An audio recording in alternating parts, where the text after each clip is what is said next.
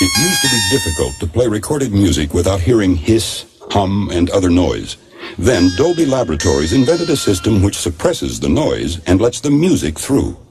Today, almost every time you play a recording, turn on the radio, or go to the movies, Dolby Noise Reduction has helped make the sound more real. While we like to make as little noise as possible, the Dolby trademarks seem to have earned applause. Dolby Noise Reduction, the silent performer in quality sound.